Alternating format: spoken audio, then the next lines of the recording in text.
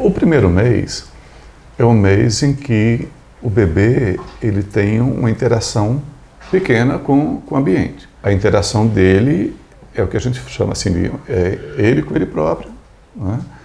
e com a mãe, com o seio materno, que para ele faz parte dele. Então, é um foco muito para dentro, para a satisfação das suas necessidades básicas, que é conforto, acolhimento e nutrição.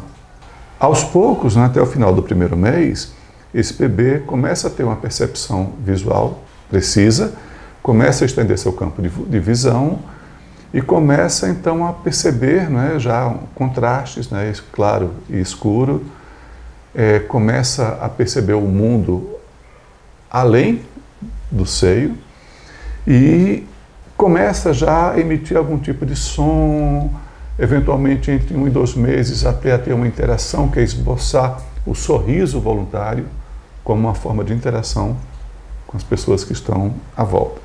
Próximo do terceiro mês, esse bebê já tem uma noção dele né, e do fora. Então é um bebê que já movimenta a cabeça para os lados, já procura identificar as coisas do ambiente, começa a entender que e descobrir que tem mãos e começar a fazer o movimento com as mãos. A partir daí, levar a mão à boca, a estabelecer um contato, a procurar as pessoas que estão em volta, a tentar já é, iniciar alguma movimentação em relação a um objeto que esteja próximo.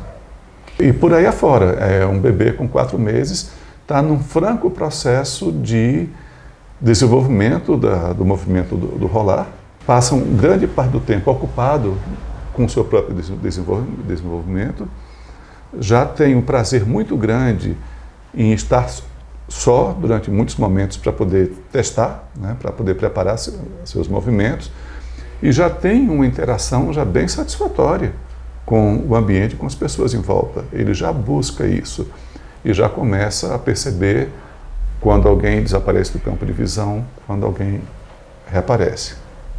E já tem uma ideia da localização dos objetos. Isso já vai se tornar, tornando familiar, ele já começa a fazer uma busca mais ativa por isso.